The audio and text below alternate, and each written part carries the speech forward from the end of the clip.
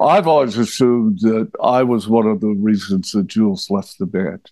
Well, you among everybody else, man. I mean, you know, that was. Fuck you. I wanted to be special.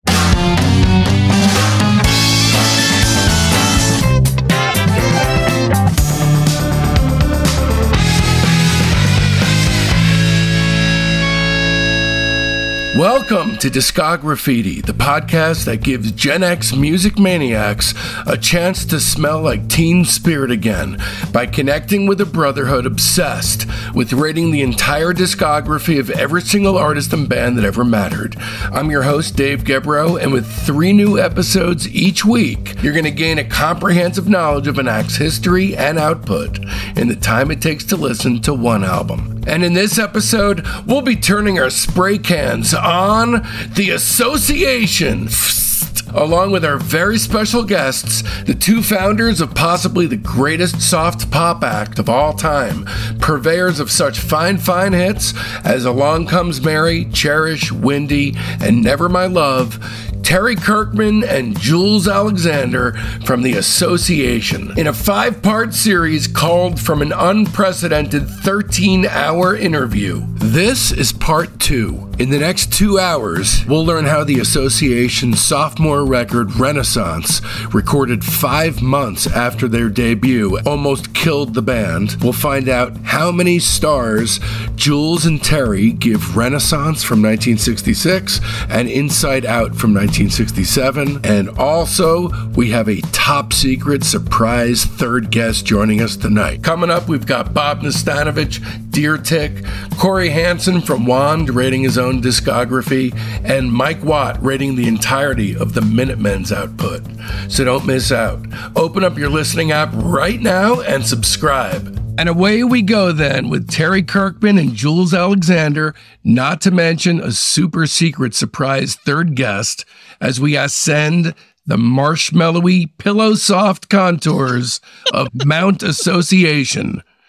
A vocal blend so magical they seem to exist in harmony with the winds that blew through the LA canyons, turned a six and seven man mind cocoon, ruptured by personalities bursting through fully formed from a shared bedrock of self effacing anonymity. Jules actually, uh, we were on the phone and we were talking about, he said, well, at least, you know, we're halfway through. We're most of the way there. And I was like, Jules, we got the, the end of the first album.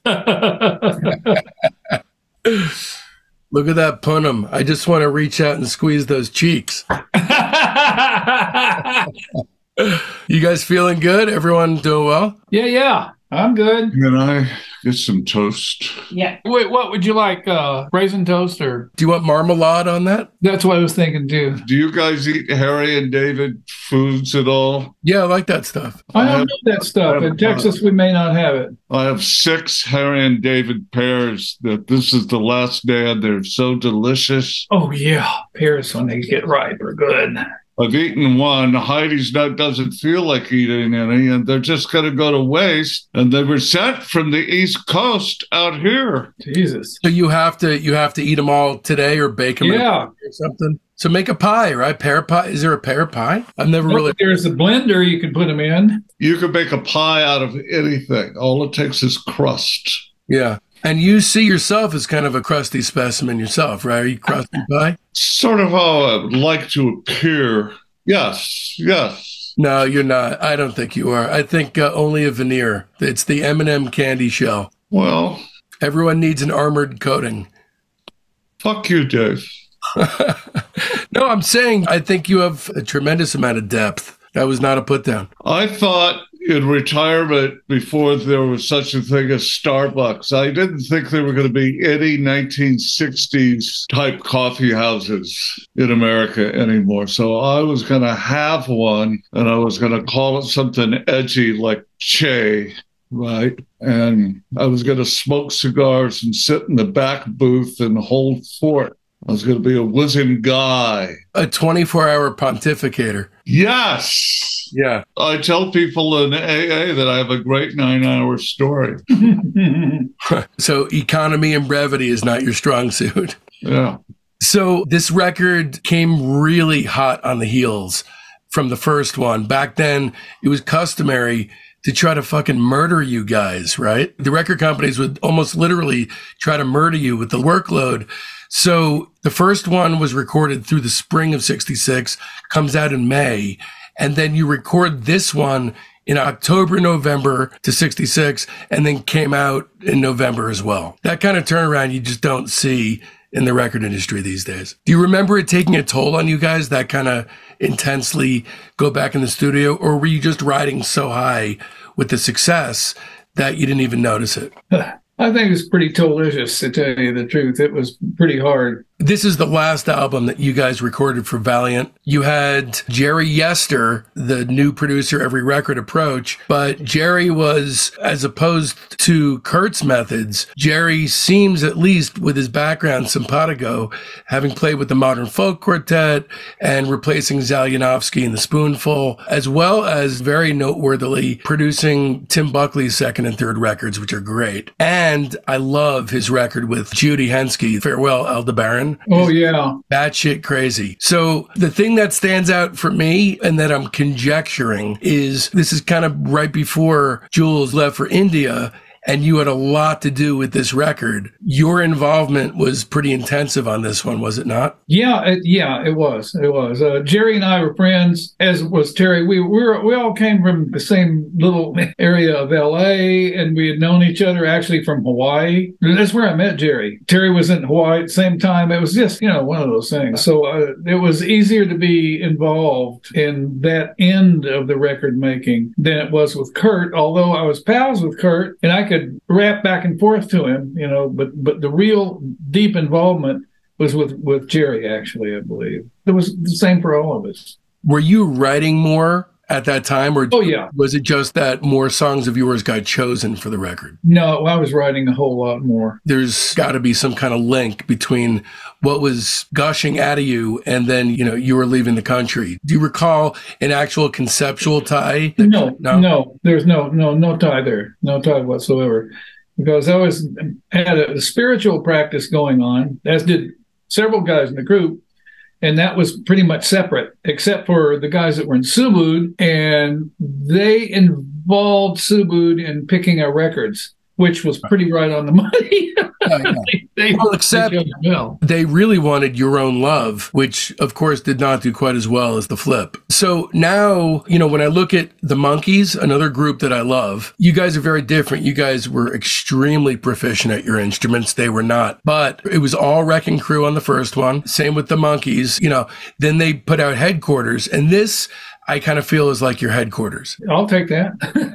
it's it's basically you guys is it even augmented by Wrecking Crew? I think it is, but it's. I think a few of the people in the Wrecking Crew. The Wrecking Crew wasn't really the Wrecking Crew at that time. I mean, that that was a bunch of people that played together and they would get people from all over the place to play, but with maybe three or four, you know, basic guys, Hal Blaine, a few of the other guys like that. Yeah, know. Mike Deasy actually got a writing credit on one of your records. Oh yeah, yeah, Mike. Oh, he was fun to play with and hang with. So he was a you know quickly in and out member of the band, practically recording wise. And then Jim has said in the liner notes to the record that this and uh, you know the self-titled one from 69 was more representative of what the group actually was than most of the other records. Yeah absolutely. Okay so do both of you guys feel that way? Did you ask me a question? Terry are you on strike? Yeah, I was I was just basically asking if it was just Jim Yester's feeling that this record and the self-titled one from 69 are more representative of what the band was than the rest of the records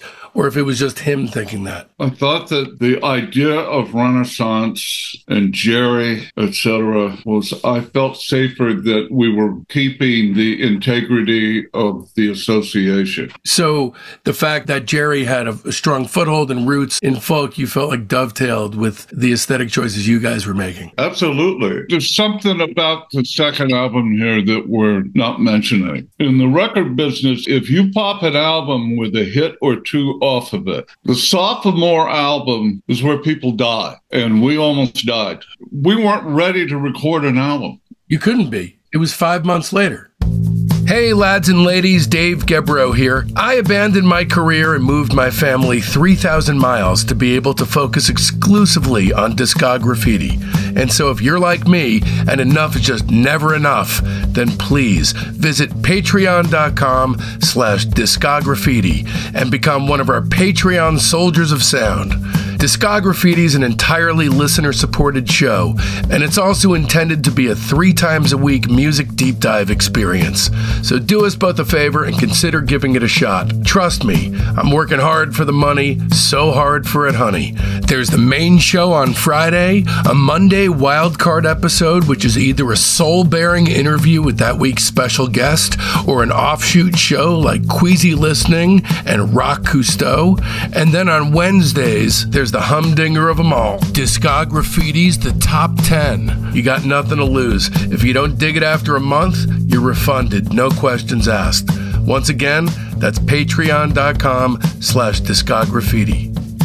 I had a conversation with our group attorney one night in the 70s. He was in my house for a dinner party and he asked me what I felt about groups. And at that time, he was the senior attorney at Motown Records. And I just, I stood in my kitchen and I told him what I thought was wrong with the development of most acts in the record business. I never worked in the record business other than standing in front of a microphone and singing. And so he went back to work on that Monday and uh, told Iris Gordy at Motown uh, what I had said. And she called me up herself and asked to talk to me. And the next thing I knew, I was director of the creative department of Motown. The whole point is that you don't want to release a, a second album off of a first album that has hits. You don't want to release the first album until you have the second album already in the can. Because you're going to get caught up in your own hit making fervor which we were thrown out there as opposed to sitting back and saying holy shit we got two good hits here. Let's dial it back in. Maybe with a major label we would have been able to do that. Dial it back in really nail the second album because the first album were all songs with the exception of two were all songs we've been singing on stage for a year. But that's mm-hmm. the whole thing. You spend your whole life making the first album perfect. And Absolutely. Then, and then immediately the record company wants. You just shot your what? Right. Okay. So not only are you starting from scratch, but they're making you do it within five months. But the key takeaway for me, and I'm on the outside looking in, Renaissance to me is not as good as the first one. But I think you guys totally pulled it off. And I think you completely dodged the sophomore slump curse. I thought that the second album came closer to making us an interesting group and a little little less produced. Yeah, it feels more like a garage band, you know, in terms of the the fervor behind it and the performances and the songwriting. I think reflect that. Well, it also reminded me of Forty Times and those first things that we released, which I thought were the most exciting records. Yeah. Well, let's drop the needle on this thing. So we kick off with "I'm the One," which I love. Russ's vocal style is so forthright and aggressive. It's almost accusatory or sneering. It does not dovetail with the common idea of what the association are, which is one of the things I love about this. It has a real Nuggets garage spirit to it. And if you were to take away like the really finely curated background vocals you guys are doing, this has the snarl and dismissive lyrical stance of a Nuggets tune under all that harmonic drapery. Interesting, interesting take you got there. Yeah. Do you disagree? I'd love to know if you do. No, I, I'm, I'm chewing it up before I disagree with it. Let me put a little sauce on it and figure it out. I court contention. If you disagree, feel free to walk all over me. No, I, I, I, I don't do that. I think before I speak, mostly. Wow, are you in the minority these days? Well, I fucking learned because I, I learned the hard way. Okay, so uh, then we have a Yester tune, Memories of You, which is uh, incredible. I like this one a lot, and I don't mind this but it does sound like a square dude taking a crack at a psychedelic song. Did I hit the nail on the head with that, or did I miss the mark? Nope, you sounds like a what? There. I missed the mark. All right, so he was the real deal as far as lysergic inner space wanderer. Oh, absolutely. Was he? Okay. All right. Well, that's That's great to know. I think I'm going to revisit all his songs through a different lens now. Terry, your recorder solo typically spot on, duetting along with that guitar. It's another great one from you. I enjoyed playing recorder on our songs a lot, and I wish that I had had worked my way up with other instruments that I could uh, pretend that I could play. No, no. It's interesting whenever you talk about your work with the recorder, because I listened to and read a bunch of interviews with you so as not to uh, ask the same questions. And, you know, you always downplay your work on the recorder, which I find interesting because you're actually very good at it. You may have picked it up and just effed around with it until you got some good sounds coming out of it. But no, I'd gotten a sound out of a recorder that other people weren't getting. The recorder, often when I played it at home or I played it wherever, was instead of having a saxophone in my hand, I had a recorder in my hand, but I was trying to get more of a jazz tone, more of a folk tone out of it. Often very melancholic than a blockflöte played by a bunch of Swiss kids. There's a real heartstring tugging sadness to a lot of your work on the recorder on those records. Well, I'm a sad guy. You're a tough nut to crack. A friend of mine a few years ago independent artist. She asked me to come over and try to put recorder on a song she was doing, which I did. And, and as we got through, she says, every time you play recorder, you play it with fervor. And I hadn't really thought about that because it's not necessarily something I want to do. Why wouldn't you want to? Well, the song doesn't call for fervor. I just wanted to be a part of the harmonics. The sad thing is that my fingertips, these fingertips right now, are numb, particularly my thumb. But I pick something up and I don't know that I've got it. It's probably carpal tunnel, and they want to operate, but I I ain't going under anybody's knife. They'd have to put me completely out to do it. But I can't play recorder anymore. Yeah. And it makes me so sad because I can't feel the holes. There's got to be a way for you to do it again if you really wanted to, because, you know, you talk about musical rehabilitation. The drummer for Def Leppard lost an arm in a car accident and continued playing. They figured out a way. If you want to bad enough, you could figure something out. that sounds like a Monty Python bit. you coward. So the next song on the record, I think, is one of your best songs, Terry. Wait, wait. About Terry's recorder playing? When we would go into cut, everybody would have an opinion of what everybody played. Well, you, that was pretty good, but you, you know, you except Terry's playing no one ever said, "Oh, I think you should play an F sharp instead of a C flat." That's how good he was. I mean, it was like, "Holy shit!" He's the only one that didn't get chopped. That must have felt good because what Yester was calling the hangings, if it was half as contentious as what it sounded like, that's really saying something. Yeah, that, that was really true. That was true. Yeah. was the only one who said, "Okay, just go fucking play." You know. Yeah. So, "All Is Mine," I believe, is one of your best songs, Terry. It's a three-four time classic with gorgeous, pearl precise, almost churchy back backing with that perfect birdsy rhythm guitar and very underrated in your catalog. Did you feel like what you alluded to before about chasing that high of having the big hit? Was there any kind of drive inside you to try for another Cherish? I remember wondering if we had anything in the second album repertoire that was going to add up. When I heard Jules's demo of Heebie Jeebies, I sat back and I said, okay, we got one. And then we lost that little thing, that little, I don't know what it is. I mean, it was three of them singing. It was you, Jules, Jim, and Joe Ellen. And Joe Ellen. Yeah, that did the demo. Oh, you're saying from the translation of demo to studio recording, it lost a little something? Lots of songs get fucked over. Sure, because you're not replicating the feel. About that tune, I could not stand the mix on that tune. It did just the opposite than what I wanted it to do. And I thought everything was in the tracks, but too late. Remember, we didn't get to say shit about the mix. That was somebody else's deal. When you hear the song today, you don't like it? No. Wow. I would have mixed it different. Let me put it that way. All the music is there. Does it make you wince when you hear it? Is it like that? No, no, it's not wince worthy. It's just like, oh, that, you know. the size of the association, the broadband that our sound was to be contained in, we were too big for a lot of the tech level at the time. Yeah. Jules, Jim, and Joe Ellen, the three J's. Jules and I were bunk partners once in Texas, and they had local television on, and they had Los Tres Humbertos were on in Dallas, you know, all fucking day long. but that was it. That was the magic. That well, that was also the magic of folk music. Look, I have heard not just from you guys that the demo was better. I don't think I've heard the demo, but I have always loved this song, and you guys sound like true freaks here. Plus, you got to again dodge that sophomore slump bullet by man, talk about not repeating yourself. And if someone else had written this and I told you that the guy who wrote and sang it left for India a few months later, you would just shrug and say, yeah, of course. Of course, that's what happened.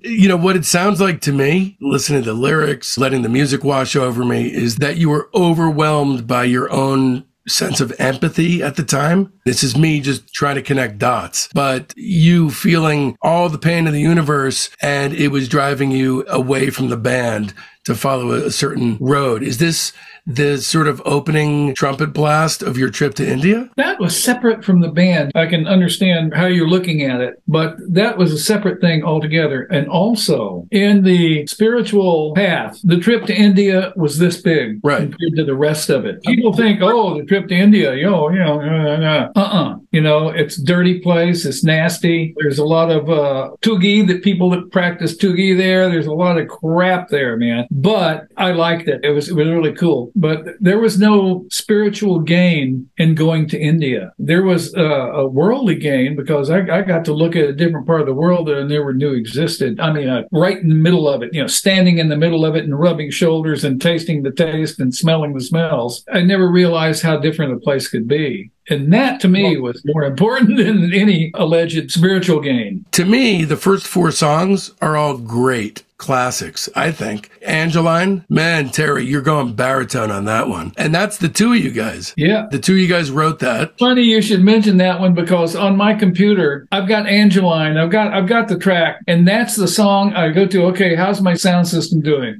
Let me run the Angeline through it. And I say, oh, okay, yeah, I, mean, I gotta change this, that, and the other. That's funny, but I listen to that almost every day. It's almost creepy. There's almost a creepiness to it. Yeah.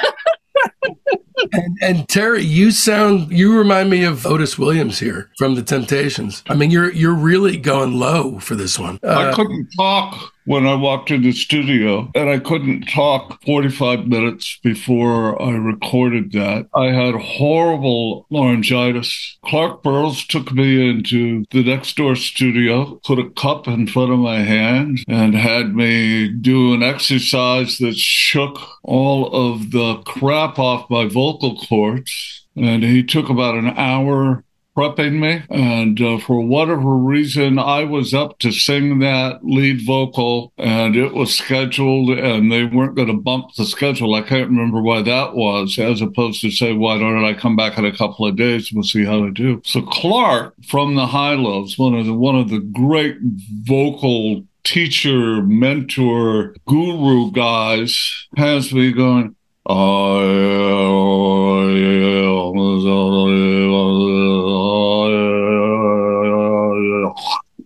That's like that for an hour. And he gets through with me and kind of steers me to the studio, goes over to Jerry and says, he's ready and he's got about 45 minutes. Plus, you did do that one note harmony thing where it's like threading the needle with the one drone note. That actually wound up being not just an exercise, but an actual harmony that was utilized. It's what's so fucking trippy about that song is that there's that one note. You know, the Buddhist monks, they would have the two voices that created that mysterious third voice. It almost approaches that kind of territory. Sounds like you're talking about Pandora's Golden Heebie Jeebies. Now, I do want to talk about uh, briefly the next tune, Songs in the Wind, Blue Shell. This holds the distinction as being the first song I don't like on an association record. There aren't many of them. This one's just a bit too sickly sweet for me. I'm not really a fan. You guys like that song? I wasn't involved in much in the recording of that except for singing the background. You know, that was Ted's thing. For whatever it's worth, it's just, uh, I don't really connect with that one. And I really don't like his vocal on it. But uh, I'm just some schmuck who sits in a chair listens to music. So what does that matter? Well, it really sounds like a sophomore album. That song does. What I'm saying is the quality of the song itself, how it's developed.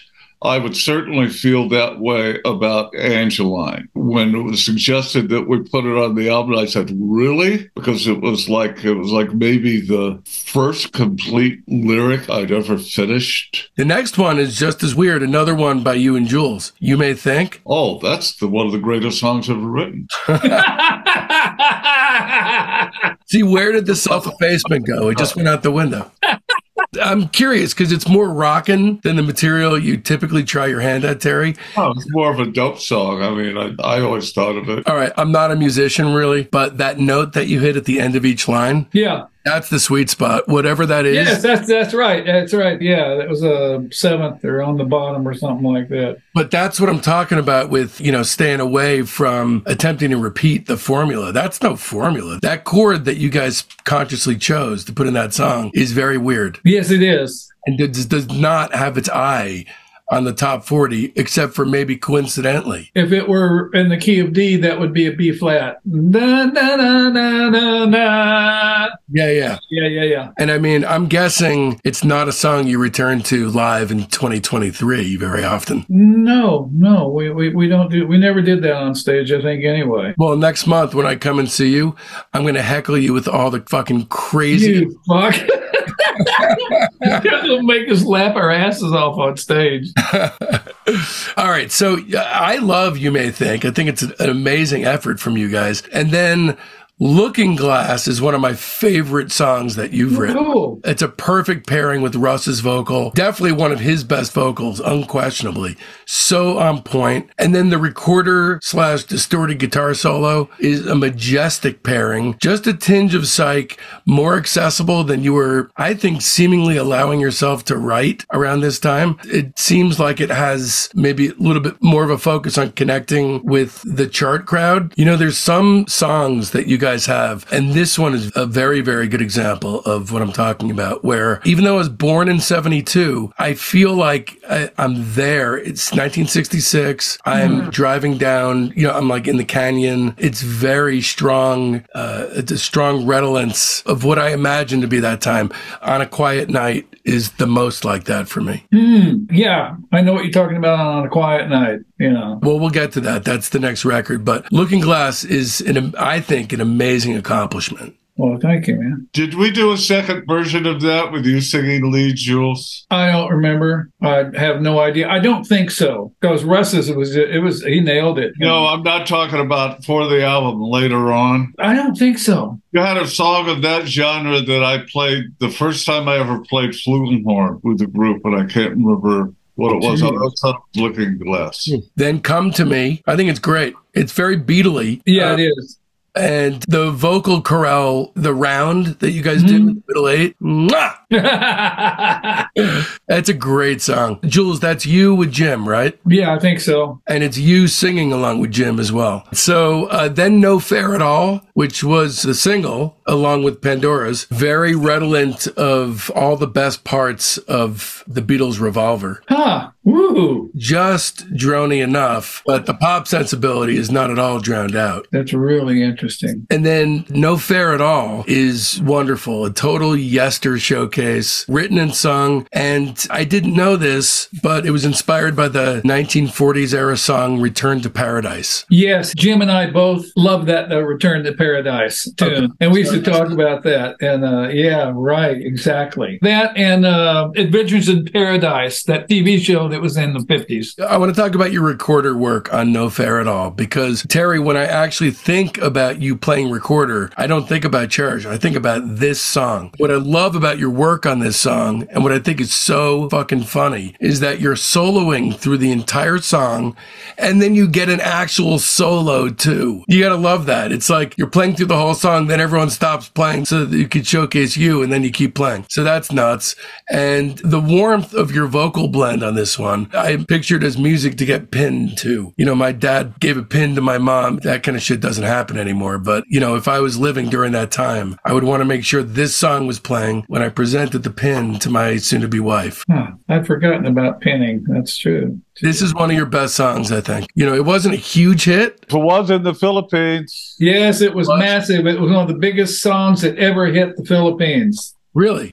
Yeah. You know, only number 51 in the US, which is surprising. So that was January 67. Great song. Next one, another Jules Terry effort. You hear me call your name? A total rocker. It sounds like it was knocked out super quick in a good way, like in a Nuggets garage style kind of way. Feels like a strong eight miles high influence. Interesting. Interesting. The locomotive barrage of the drumming is completely killer on this song. When I say like you're not a singles band, you're an album band, you go past the obvious ones and most of the rest of the material is killer. That's cool. really strong. And then another time, another place, it feels like a nice little goodbye. It feels like Jules, like you bidding the band farewell. No, no, it was a real cute girl. Was it? Yeah. See, I try to picture it as a nice, tidy story about a guy saying goodbye to his band. That no, that was that had nothing to do with it. It was You're nice. smoking too nice much dope, story. Dave. Uh, You know, look, when I smoke dope, I don't go on mental journeys about how Jules spends his time.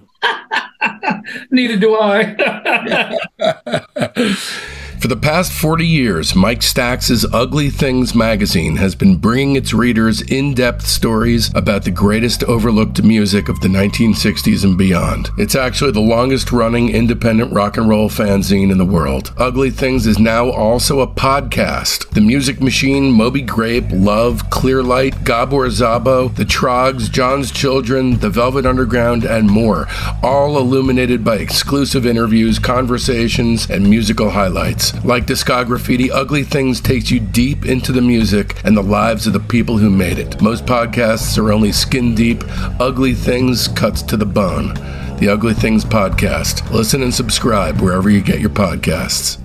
Okay, so another time, another place. Do you really like music hall shuffle, like that kind of music style? Not particularly. I mean, yeah, it's good. It was definitely a thing for you guys, not just you guys, but anyone back in that time would dip a toe in music hall stuff. A lot of that was kind of justified by the Beatles using that kind of, you know, your mother should know or, you know, great songs, but also utilize that style. So here's my review of this. This one starts out super strong, but I think your quality control wobbles a tiny bit on side two. Actually, I don't think you guys really had any kind of a sophomore slump. This is like four months later. All right. It feels like they rush released it. I mean, because you were done in November, it came out in November. It's a one off because it's kind of the only super intensive Jules record. So it's kind of cool for that. And also, it had to have been a very personal triumph for you guys to finally get your own instruments on the record. It has its own flavor in your catalog. I'm going to give it four stars. Oh, cool. Well, actually, the very first record we did, besides some guitar, uh, DC, and, and a couple other guys, it was mostly us. With Brian playing that weird bass he played. Jesus Christ. It's so funny. He was a very strange bass player.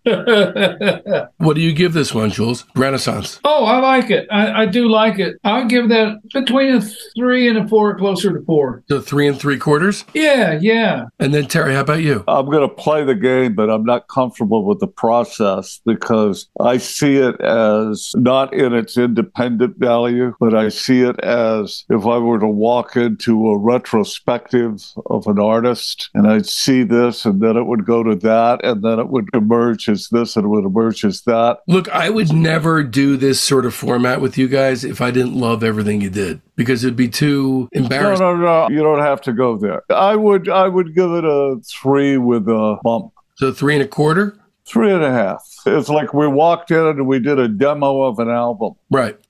Which again has its own flavor. And and you guys are telling me that, you know, you you're losing things from the demo to the studio. hmm Maybe a way to preserve some of that. But once again, these kind of albums, we were into an entirely new music. Thank God. No, but when you go back and you say, okay, here it is in relationship to what I think pop music is. Pop music hadn't, hadn't formed itself yet, not in our genre. It's one of the importances of the Subud thing, as freaky as that was, is that Subud was testing on singles. They tested on Good Vibrations, they tested on Hey Mr. Tambourine Man, Along Comes Mary, and one of the Steppenwolf, but I was I was actually talking about the Mamas and the Papas. And they had no investment whatsoever in whether they liked the music or not. Quality of the music had nothing to do with anything. What would it be like for the Beach Boys to release this album? I was in a Wednesday night little private West Hollywood apartment salon in which Brian Wilson and I were the featured people in there that these people wanted to host. And once a week, he was bringing us a piece of good vibrations. It would be like, I added this instrument, I added that to it, I got a rhythm guitar or whatever the add on was six months in the making. We're rushing in and trying to figure out what, what we're going to do for an album in 40 days. But you got to stretch out. It took a little time, but you you got there. No, it's part of the deal of being sponsored. Once you enter the realm where there are expectations attached to your art, I scheduled you for an album. Where's the album? Oh, you scheduled me to be really, really great fucking creative. Okay. Hey, I'm scheduled to write a hit song. Okay. yeah, but I know you're on a soapbox about it at the moment, but as somebody who is constantly following his creative muse, having those kinds of restrictions, as ridiculous and completely random as they are, can produce great work. Mm-hmm. And, you know, I feel in this particular instance, it did. there's a cartoon about that. Somebody's asking somebody else, "What's your greatest impetus? What's your greatest drive to get a piece of art?" And he says, "A deadline." You know, so my point is, we didn't know what our sound was. We had never heard us back. We had performed and performed and performed and performed and performed and performed. We never really sat down and heard us back. And it's like when you do a play, when I was taking my shots as an actor, you do a play and you get through it and you say, God, I wish I could see that. I wish I could see what I just did. They don't have dailies in theater. Yeah. Hmm. Because I can't see myself the way you see me. I can't hear myself the way you see me. And if, and if I'm making a recipe and I like it, it's the stuff out of my kitchen and it's, it's to my taste. I don't know whether you're going to like it at all. I got to tell you, as a filmmaker, the last thing I'm going to do is show the actors the dailies because then they get self-conscious about the process. You know, the facial tics become mannered and rehearsed and you're trying to recapture moments that came completely spontaneously. I, I don't completely disagree with you. Make a great record producer. Here, I, I sing that. No, you can't hear it back. I'll yeah. tell you when you got it. Okay. Yeah, yo, I mean, Brian Eno would just go ahead and fucking erase the song if he thought it sounded too much like who you were. He mm-hmm. would, he's done that and really pissed a lot of bands off. All right, I want to switch the focus here to Jules because there's a seismic shifting of plate tectonics in your life at this time. What was the impetus in April 67 for you to leave the band. I don't know if it was a sudden decision or whatnot to go study meditation in India. Well, it wasn't to go study meditation in India. That came during that time, but that, that was because there was an opportunity to go. What happened with you during that time? Uh, was it sudden? Well, a whole bunch of stuff.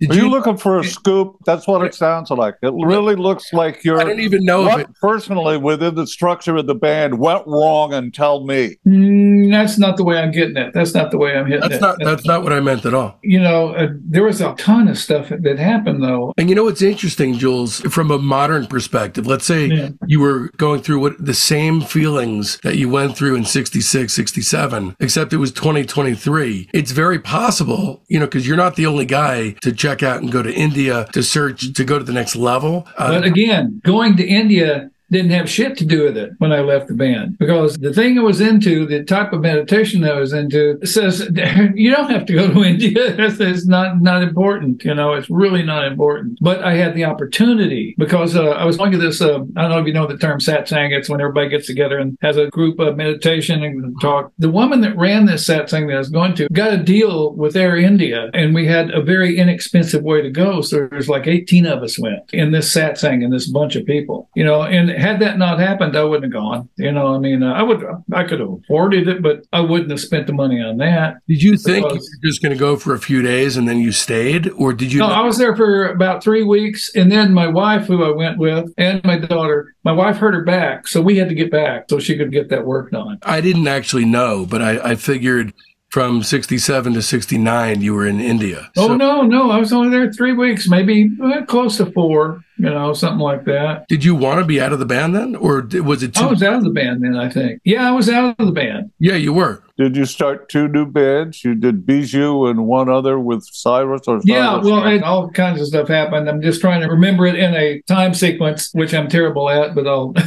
I had started two bands when I was out. I didn't know Bijou was at that time. I thought Bijou was the 70s. Bijou was at the Monterey Pop Festival. Hmm. No, there that wasn't Bijou. What what was the band you were in the Monterey? band with no name was the band I was with. Oh, Yeah, we were just we were last. that's how come I don't remember it. I can't remember. yeah, that's that was just a quick thing. We we didn't know we were going to do that. I think it was Cyrus. It was friends with one of the guys who ran the thing. They said, "Hey, you guys want to come on?" with you?" Yeah, sure. Which, which we had three rehearsals. So I did not know that you were actually in the States. Oh yeah, oh yeah. So did you want to be out of the band? What Oh happened? yes, of course. That's why I quit. I wanted to be out of the band. Exactly.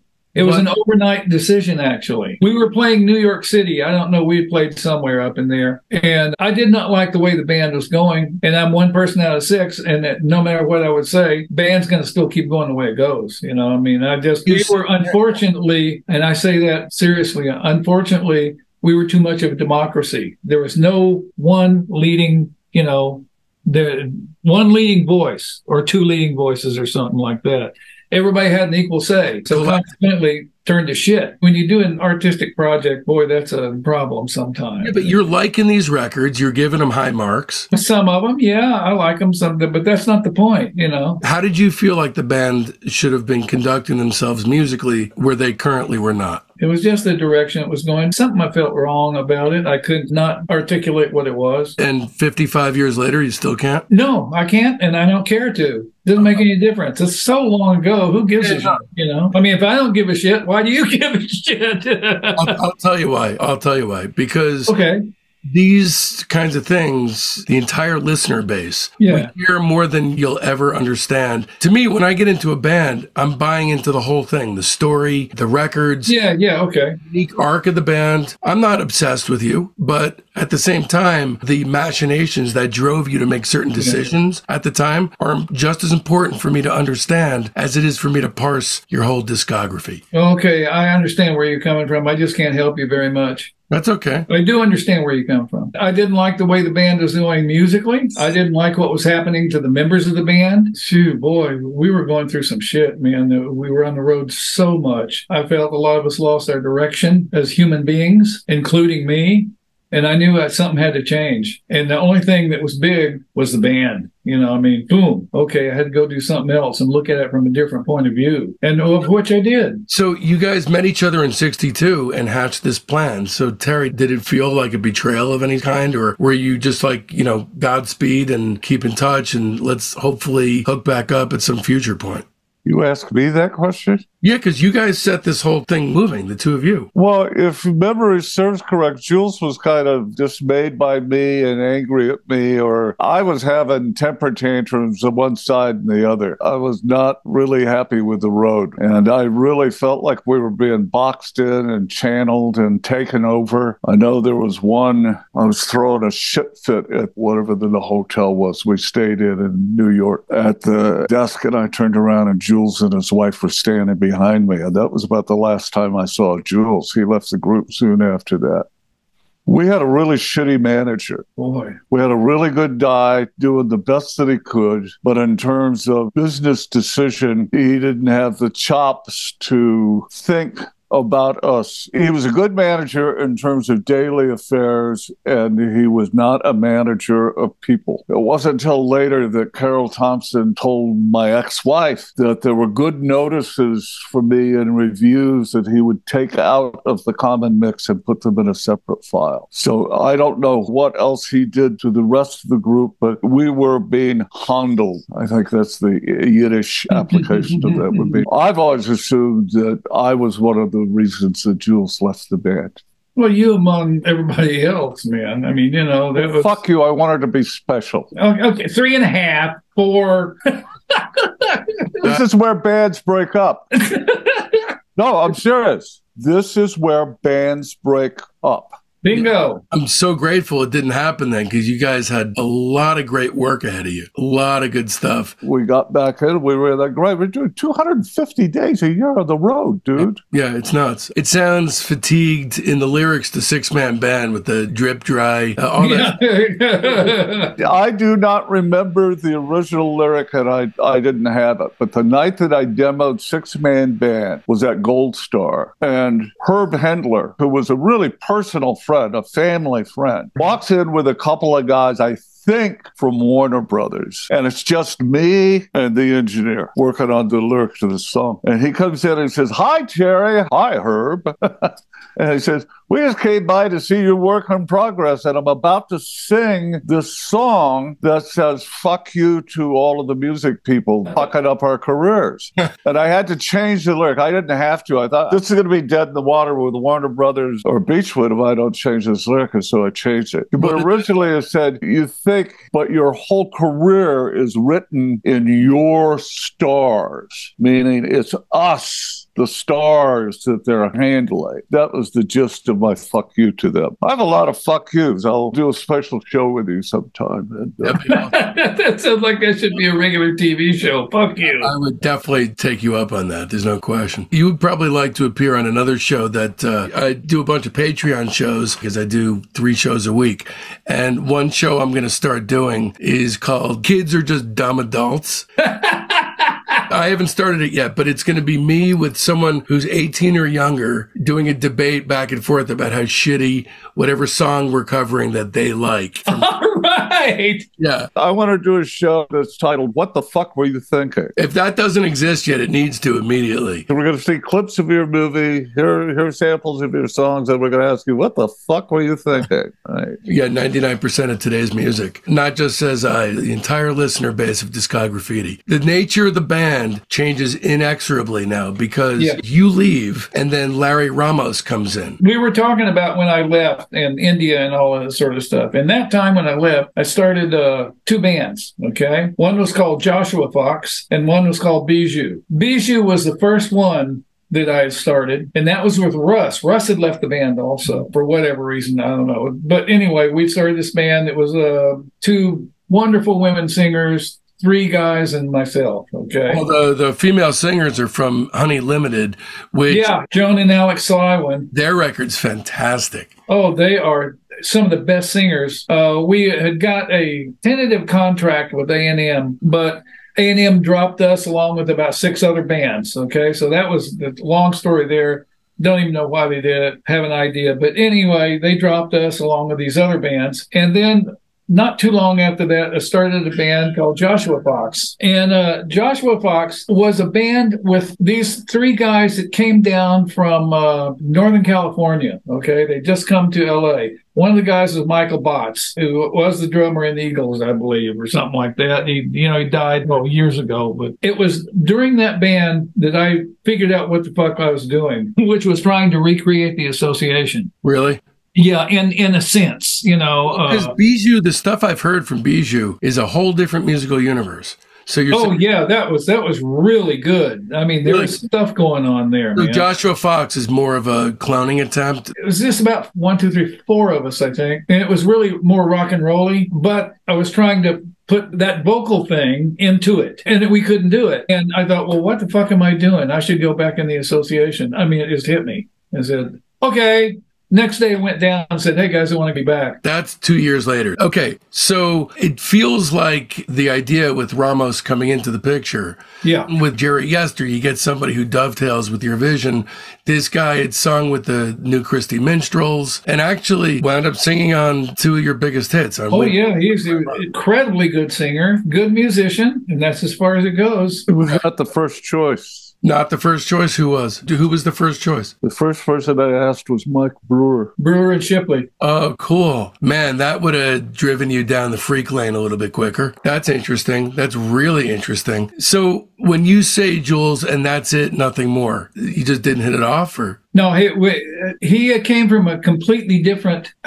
ethos, I guess you could say. He was been show business since he was a little kid. Okay. And his take on show business was not our take on show business. We were basically all these guys that put it together, so on and so forth, when we were almost adults already. He was on Broadway for years and years and years. The King and I. He was in that. He's one of the kids. And he came from a very standard showbiz approach. This whole crap that is, and that's where he came from. He would dress uh, to the nines just to get from one gig to the other. And we we think, oh man, come on, let's go. Who's got the dope? You know, that, Yeah, yeah. that kind of thing. Well, Jim said that Jules really inspired the avant-garde side of us. Larry was much more pop and R&B oriented, so I Yeah. think that side probably came out a little more. Yeah, it was complete two different approaches. Terry, did you find it an ill-fitting suit? I just started talking about that recently with Jules. Never had the opportunity ever to sit down with the rest of the members of the band. There was nothing wrong with Larry's art.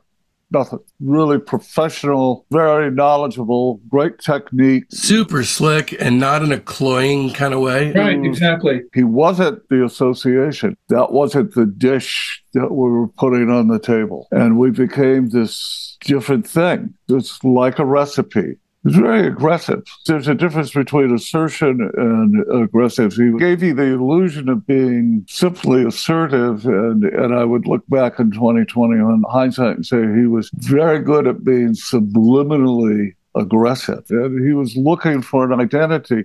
I don't want to trash Larry Ramos at all because I say this in all faith. I'm the one who asked him Mhm. In Mike Whalen's recording session of a Jimmy Webb tune. There, that's all the names you can drop. and all the people who had just left the Crunchy Munchies, the Christy Minstrels. It was in Studio 3 that I asked him, and he was there with Helen. They had all just quit the Christys. And I'm sitting there and I just turned around and said, tenor, hmm. tenor, known tenor. Pick up music really fast. You want to sing in the group? Oh, okay, look good, good. Boom, there, we're done. Pat Colecchio was there. And I was, you know, in about six months, I was really sorry. It's like you start dating somebody and it seems like a really good idea or any, any work thing. It had to be his style. And there wasn't anything wrong with his style. And a lot of his style is what we needed to have. It was like in the wrong doses. I, I, don't, I, don't, I don't know how to say it. The thing that always bothered me about the association is we never had a dance beat, I don't think, to more than about six of the songs out of about 45 that we ever recorded. We weren't a danceable thing, and our tempos, I don't know where Hal Blaine sat, but I was approving it as everybody else was. But our tempos were up out of that groove and toward the front of the beat, and you mm-hmm. didn't get what I loved was they call fatback on the very, very last edge of the beat. And like Keltner would play, like Mike Botts would play with Jules. He was the Righteous Brothers drummer for a long time. Then he was he was in Bread, but it couldn't settle. And then Larry went off and started making his own music. And there was nothing wrong with the music that he was making with his one partner, Bob Alcivar. Mm-hmm. They were making really well crafted songs with brass, big productions like that. I don't remember ever being in the studio when any of those tracks were recorded. I think he did some stunning work with you guys. I totally understand. He did stunning work. It wasn't ours and it wouldn't get played because it didn't sound like ours. There's nothing wrong with what he did. I Yeah. go back and I listen to this and I say, if you had taken that and put it over here aside on its own and done a whole fucking album of that level of work, Larry would have been a star. He could have been a star all on his own. You get a band that's that big. I mean, you guys started from a, basically more of a collective than a band. It's almost literally an association. You have like 15 guys. There's going to be personality types that don't blend. It's inevitable unless you were to do a Meyer Briggs test beforehand to make sure everyone's on the same page. But, you know, you made a spur of the moment decision that at least, you know, had some objective musical gain for you to bring into the band. It might not have been the same character as the initial band. Well, if you're going to argue that point, then I secede. Okay. No, no, no. I'm just No, go go ahead. I, I don't mean this in a passive aggressive context. I say, and then you rebut, and you're telling me my version of what it was. So let's just leave it at that. Larry joined the group, and the group became that. And then Jules came back, and we started to get footing once again in a context that was more in keeping with the original association. And I think that Jules's relationship with the poet's name, please, Jules, that you co wrote songs with. Errol Carmel? Yes, thank you. Yeah, Errol. We both wrote with Errol. I just want to let you know I w- I wasn't trying to argue your feelings about it. I just wanted to shine a light of positivity on what might have been a frustrating experience, just from an outsider's perspective. But your feelings are your feelings. Wasn't looking. really. Thank you. Thank no, you. My feelings are my feelings. I, no, my intention was You're, not. Uh, you know, AA quotation. Your feelings are not facts. Okay. I wasn't arguing with you. You were. I felt you were arguing with me. I was not bagging on Larry's music at all. I thought yeah. it was brilliantly done. And neither I nor my management nor the record company, Warner Brothers, thought that that music per se found a proper place in the association albums. Warner Brothers didn't think so. Okay. I'm not arguing against Larry's music, and I'm very, very careful to say he was an astounding professional guy. Oh, yeah. Well, now we're at Monterey Pop, which I know you guys have a viewpoint that not a lot of people have about the festival because, you know, you were the first band to play at the first festival that ever was. So mm-hmm. you guys kicked off the festival era which is insane to think about. All right. So June 16, 1967, you guys become the first act to ever play at a rock festival pop rock festival, Monterey Pop. Now, you have very specific views on your performance and how you were treated. I know you felt like you were thrown to the lions and you are not happy with the result as it turns out. We had just come out of the studio. We had just come out of recording Never My Love, Requiem for the Masses, and that album. So the footage that exists that I see of you guys playing the machine and it was an embarrassing mistake. Somewhere in there, we were all tone deaf having never had a festival like that before, we simply addressed it as okay, we're out of the studio. Uh, can our wives go up there? Okay, you're flying us up privately. Okay, we fly up and then we staying. Can the wives go? Everybody got all that going on. And all we know is that we're coming out of the studio. What are we going to wear? Let's wear suits. Okay, let's go up there and let's do this show and come home. And you get there and you go, it's like being into a party where you got the wrong dress code. John Phillips they really fucked over some people in that festival. Uh, Laura Nyro almost committed suicide. They got her on acid and just pushed her out on the stage. I believe you guys are in the extras, the DVD extras, and of course it's available on YouTube. Your not your entire performance. I think it's just two songs. I love it. There's a rawness to your performance that is not on the talk shows. The television shows were all lip sync, with the exception of uh, Ed Sullivan. Everything else is lip sync. There's no difference in your singing ever, ever, ever. It's what costume you're wearing and what the where they want you to stand. My argument again, and, and I don't think I ever tout my own shit. I really try not to. Had we performed Requiem for the Masses at the Monterey Pop Festival, our career would have had a whole different slant to it. Had we performed the song that we already had in the can, which was Requiem for the Masses, had we performed Requiem for the Masses at the Monterey Pop Festival,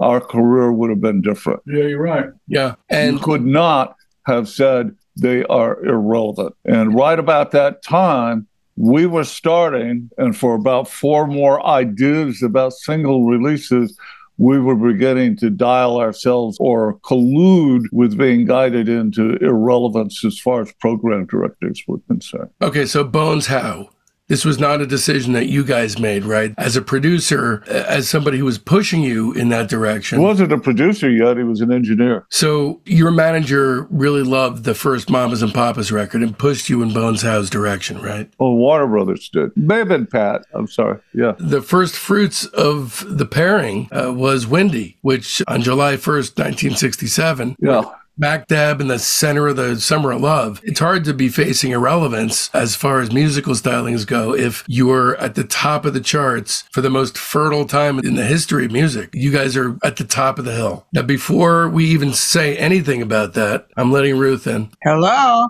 You got me? Yes, ma'am. You don't have to put me on screen. I don't have any makeup on. Harry's only wearing rouge and mascara right now. Hey, Jules. Hi, Ruth Ann. How you doing, man? You looking Pretty- good. I'm pretty good. When was the last time the three of you were, were together in one room? Two years Oh. ago. Oh, good. Oh, years and years. I've been in a room with Jules a few times, I think, and Terry a couple times. So we just got to July 1st, 1967, and I'm going to do an intro for you and just bring you in and we'll just talk about Windy, talk about that time, the, your relationship with the guys here. You know, we were just talking about Bones Howe and the very first fruits of the pairing with the notoriously difficult to please as far as producers go band The Association. Bones had his time up at bat. He brought Windy to the table. It topped the Billboard charts on July 1st, 1967, stayed there for four consecutive weeks, smack dab in the center of the summer of love, which brings us to our super secret special guest. Our surprise guest was born in the Bronx, moved to California with her family, but felt isolated with few friends, so she started playing guitar in her room. And thank Christ for those turn of events, since her first song, her very first song gained her a spot on the television talent show Rocket to Stardom when she was only 12. While still in high school, she started playing Hoot Nights at the Troubadour, which sounds like the type of night that would never occur in 2023. Her friendship with Van Dyke Parks begat an introduction to the association, who recorded her song Windy in 67. She wrote the song apparently in 22 minutes while living in an apartment in David Crosby's house, and it was number one for four weeks solid. Lads and ladies, give it up for the absolutely astoundingly great Ruth Ann Friedman. Yeah. You're funny. That's a lot to live up to. I don't know if I can do that, but I was really fortunate to have Van Dyke introduce me to the association and for Jules and Jimmy to be generous enough to uh, give me a place to live for a while when I turned 21 in, in your house. You know that, Jules? Oh, gee, I didn't know that. Yeah, I got very drunk and had a hard time making it home, not being a drinker. But Christ had nothing to do with it, I don't think. Um, Yeah, that's what I was Jewish, you know? too. So, are you, Ruth be honest, you're like a nice Jewish girl. Are your parents just wringing their hands thinking, oh my God, she's living in sin with a seven man band? Well, I wasn't living in sin with them. Well, it was Uh, a six man band, so let's get that straight. Yes, Ramos was not in there yet. no. this is the very long, beginnings of the beginning, huh? Long from that. Yeah, boy. We had such a Yeah. fun time. I'm telling you, it was really fun. How long did you live with the band? I don't know. And it was just the two guys. I didn't live with the whole band. I mean, that sounds really obscene. No, those two guys, and they were just wonderful to me and let me stay there. I have often relied on the kindness of strangers, as uh, Tennessee Williams so aptly wrote. You've served Yeah. some of the most legendary couches that ever were. We had some fun times. We took a lot of weird drugs, pretty weird stuff, some of it. I don't know if you remember Cyclol. What is we got it from Van Dyke. What is What was his name? The dealer, Fat Somebody, the dealer had it. Oh, I Eli. don't what Eli, Fat Eli. Mhm. Yes, he was our uh, Doctor. What with the Beatles guys? Dr. Robert. They had Doctor Roberts. We had Fat Eli. And I remember taking this particular weird drug one time and um, trying to play guitar, but uh, you couldn't because the steel strings, instead of twang, they went thud. And just at that moment, Donovan came by. Somebody who was squiring him around Los Angeles brought him to your house, and I tried to play a song for him, and I couldn't. That's a story of the great fortune other than Windy in my life. It seems So- like if there's one person that you could be playing a song to where you kind of collapse in psychedelic confusion, the most empathetic person you could be playing it for would be Donovan. Maybe, but he was often on his way, and that was okay. You know, an endlessly interesting aspect of this story of your fortunes colliding is says to me, anyway, that, you know, your catalog, Ruthann, is littered with beautiful examples of a very certain kind of music, of which the association seemingly has absolutely nothing to do with. So for you to have generated a song like Windy, which is kind of outside your, your wheelhouse, and then for it to have worked out as it did, was it as surprising to you as I would imagine it would have been? I don't know. After Along Comes Mary would not seem to be the kind of song that would be in their wheelhouse. True. If you think about it, It's like a hip hop song. Yeah. It's like the first hip hop song. you think? I used to play it and I play it as a jazz waltz. So I thought of it differently. I guess it could be a lot of things. Yeah, well, I just mean the rapidity of the lyrical template. Yes. You played it as a three quarter waltz? Yes, every time I think that I'm the only one who's lonely. Wow, wow. That's cool. so, whose idea was it when Windy was written that, holy shit, this would be a perfect next hit for the association? People have all kinds of weird stories about how Windy got to the association. Chuck Kaye has a fantasy that he took it to them, but I took it to him and asked him to record it, uh, to publish it, because the association's going to record this. Will you publish it for me? So his story is not true. And then some other people think Curt Boettcher got it to them. But what happened was, I do believe it was Joellen Yester. She says it was, and I can believe her. She called me asking me if I had any material, and I had just written Windy. Beyond that, I don't know what happened. And within a week, you guys had recorded it. When you had written the song, Ruthann, did you know this has hit written all over it?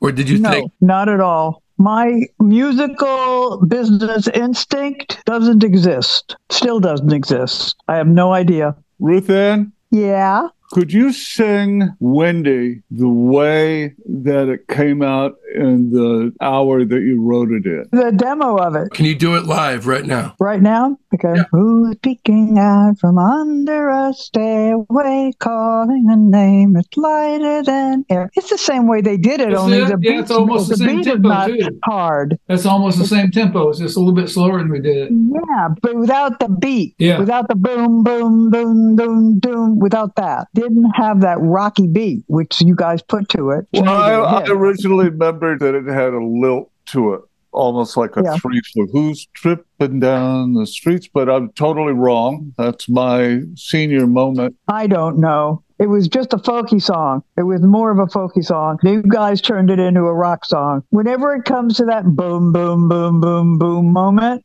when I'm performing it with my Jewish space laser band, mm-hmm. I just raised my hand up and they silence for those beats.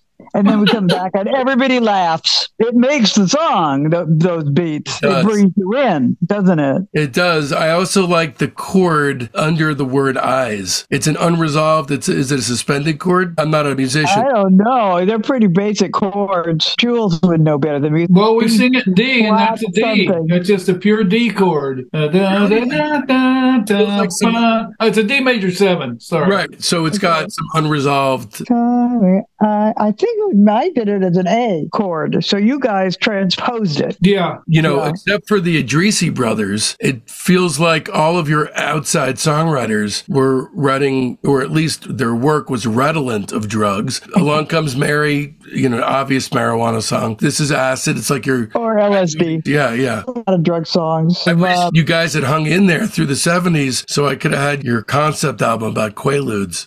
oh God, I don't know. That was that was a problem for a while. I must admit, definitely a problem. Quaaludes and and cocaine. Ruthann, how are you Yep. celebrating your success? Because in the spring of 67, your fortunes had to have been a hell of a lot different than they were in the summer. So the flower girl waif who was being blown from couch to couch, how did your life change? Okay, I will tell you that I was never a flower girl. I think that the guys will attest to that. Okay. No, Um, never. I was never a flower child. Never thought of myself as a flower child in any way, shape, or form. Thought of myself as a chubby Jewish folk singing girl, and that was my genre. there were there were several of us, and uh, you know, I had no- I didn't ever feel like I was part of um, that particular movement, but I did take a lot of acid and other weird psychotropic drugs. But I was never dancing naked in the park with the flower children.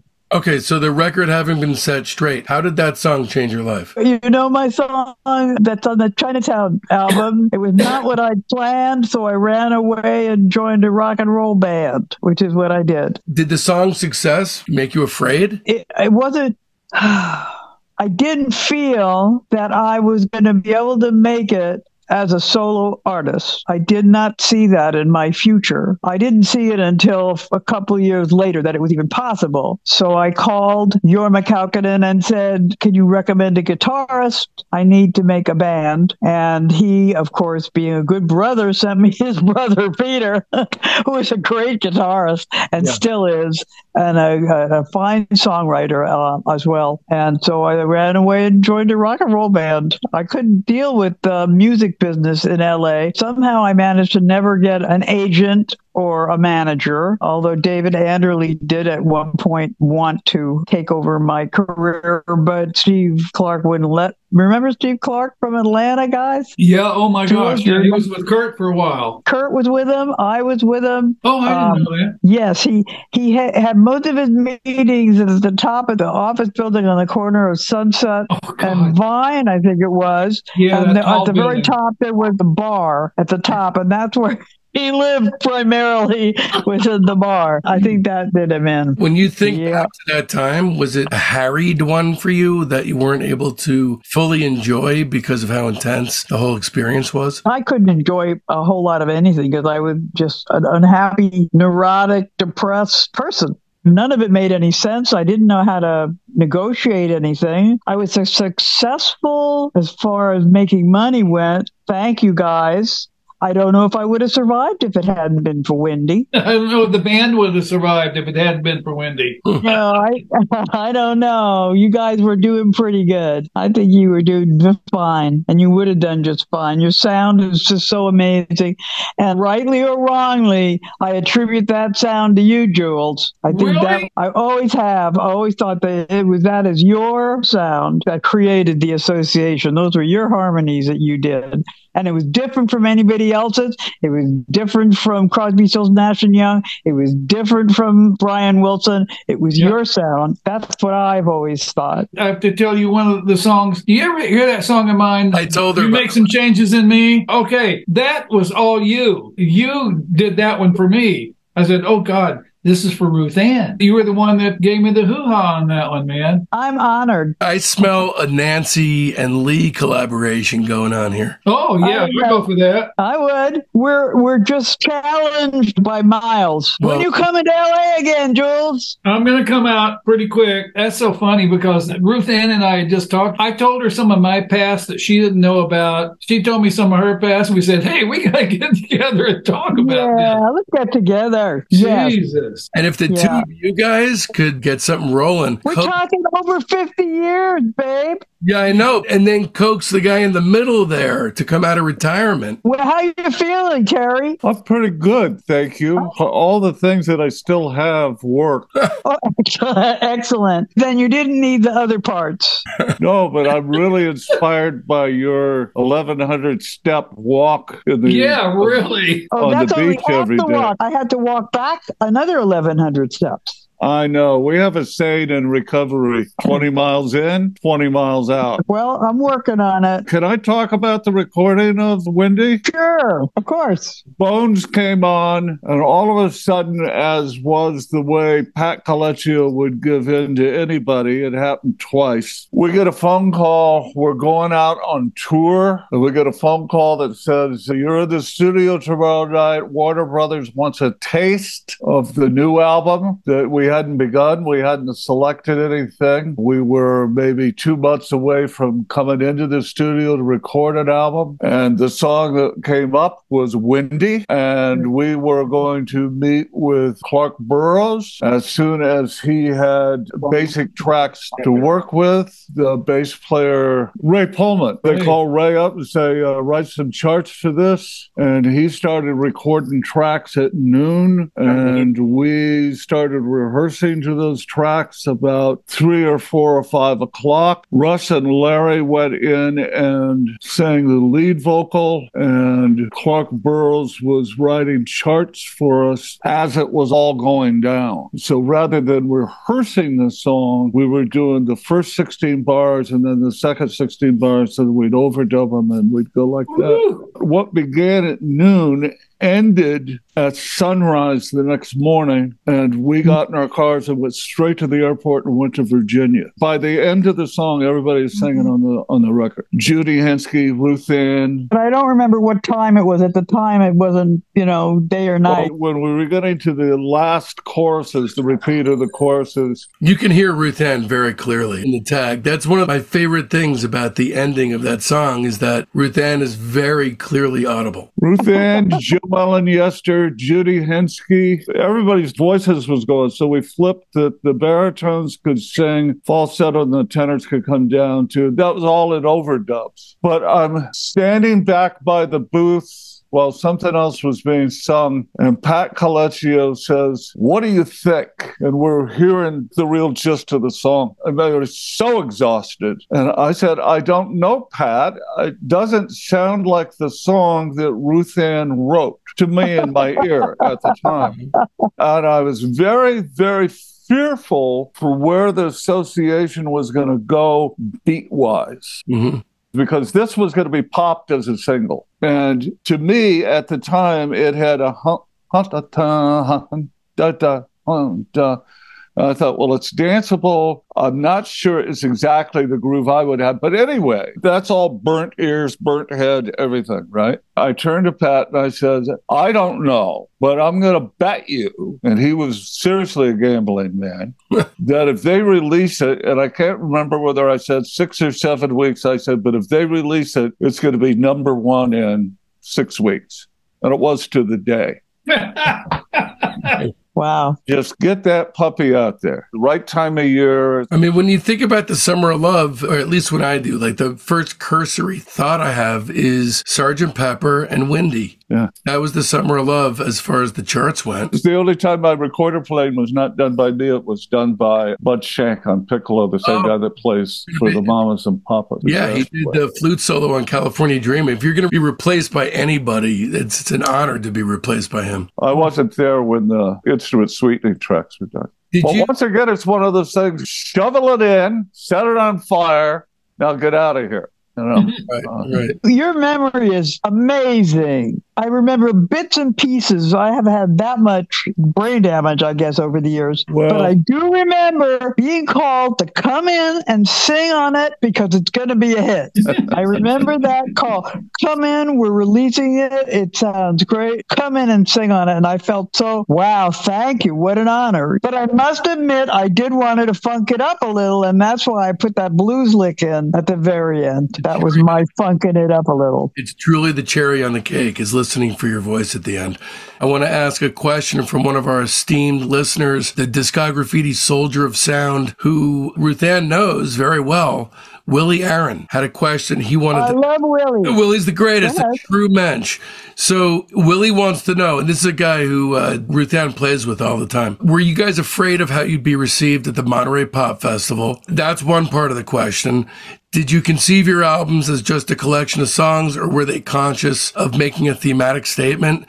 And did you think Birthday, the LP, was a major achievement for the band? Again, the first one is Were you afraid of how you'd be received at Monterey? Terry, were you afraid of how you'd be received? I don't think so. I think afterwards, I didn't know that you were going to be asked to roller skate on a fast track. I saw the lineup. It just, it never occurred to us. We were right out of the studio. You know, 40 days into an album, your brain doesn't work anymore. Right.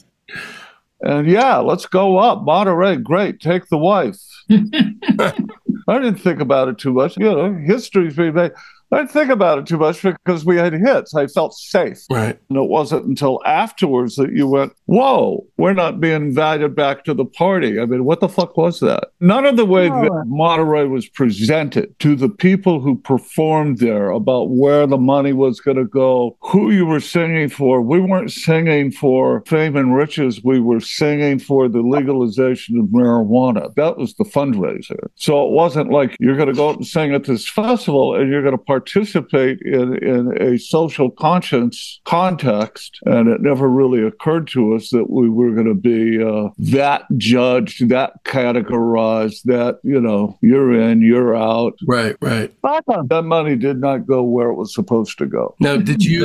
ever? Right. Bangladesh was a notorious screw job. Lou Adler bought Ocean Park after that. Go figure. So, did you actually conceive of your albums as, did you think of them as having a thematic statement? No. Okay. And did you think Birthday was a major achievement for the band? Yes, but while Birthday remained for years among the fans, Birthday remained between it and the Stonehenge album as the two favorite albums from the association, although there was no big breakout hit from Birthday. Bones Howe mixed the shit out of that album. People walked in, wives, friends like that, walked in the studios. We were listening back to things and started crying. I cried. Yeah. There was a sound that Alcivar got that I always thought was Bill Holman. Bill pulled me aside at, the Musicians Union one day and says, You keep congratulating me for that. I says, I didn't write a note. I was simply the contractor for what Alcivar told me to do. There was a voicing in there that Voicing's the whole thing. When when you get into harmonics, you can have all these notes played by the same thing, but if you move this down here and move that over here and move that over there, it changes the whole context. For example, that's what happened with Pandora's Golden Heebie Jeebies. You lose that essence, and, and sometimes people can't figure out what the essence is. You don't get whether you're hearing an overtone, whether you're hearing complementary harmonics, whatever the deal is. With that, ah, that register with flugelhorns, French horn, tubans, which is the Mozart tuba. It's a little rotary valve conical mouthpiece. It's like a French horn set up straight like a baritone horn. That was underneath the voices. So Alcivar knew that it was absolutely going to mirror the register and the sound that, that he was getting from us. And in the studio, it was astonishing. I felt like we had gone into one of those old TV shows where you show up looking this way and they do a complete makeover on you. Right, right. You know, it took all the emphasis off of the tenors being the featured voice in terms of the payoff, and it flipped it over into the lower registers. It was an astonishing experience. And then we got back and we heard Bones's mix. He spent sixty thousand dollars mixing that album. That was our budget. That was our in studio budget. Well, so before we get into the record, now we're moving forward in history, and we've already done a, a massive, sprawling interview with Ruth Ann. So we're going to move into Insight Out, and I don't think uh, Ruth Ann has any more involvement with the record, right? No, I have no involvement past Windy. Then I went up north and got lost in my own history, and these guys went on to have a spectacular uh, success. Everyone listening out there, Ruth Ann, way beyond Windy, has an astounding story and an incredible career, and you can hear the whole thing on her own standalone episode. And I definitely recommend that you head over there as soon as you're done with this episode. I have a question I want to ask you, Ruth Ann, before you depart. Okay. Were you involved with Van Dyke when he gave Scruggs the cat Robitussin? No. Okay. What happened to the before I go, uh, you can cut this out if you want. Willie Aaron is one hell of a keyboardist, besides being a good question asker, and an astonishing ear and a great keyboardist, and is one of my Jewish Space Laser Corps band members. That's all I have to say about that. He is literally one of the nicest people you'll ever meet. Yes. Talk about Van Dyke. I'm talking about Willie Aaron. Van Dyke is a gentleman. He's a Southern gentleman, and if you could say anything bad about him, I want to hear it. Never heard anybody say anything bad about Van Dyke. I really haven't. I'm trying to think of something now, and I can't come up with anything. Uh, something about his bib coveralls. Oh, he has his own style as well. Now you can't Right. put him all down for that. Yes. He's had his share of trouble. Let me tell you, he built a house in the Hollywood Hills and it burned down. Oh, yes. He's paid his dues some. He's a, a gentleman and a scholar. All of those things. Anyways, I love you guys. I love you love you too. too, Ruth I'm Ann. glad you're still with us. And Jules, Thank you. when you come to LA, I'll make you uh, dinner. I will do it with my own hand. Oh, I'm going to draw a picture for you. See you, Ruth Ann. Have fun, guys. Love you. Keep walking. Bye bye. Bye bye. Ruth Ann just got a new hip. She's walking 1,100 steps out and 1,100 steps back every day on I see what you and Ruth Ann are up to every day. All right, so moving forward now, Insight Out comes out in 1967. This one shoots closer to the top of the charts.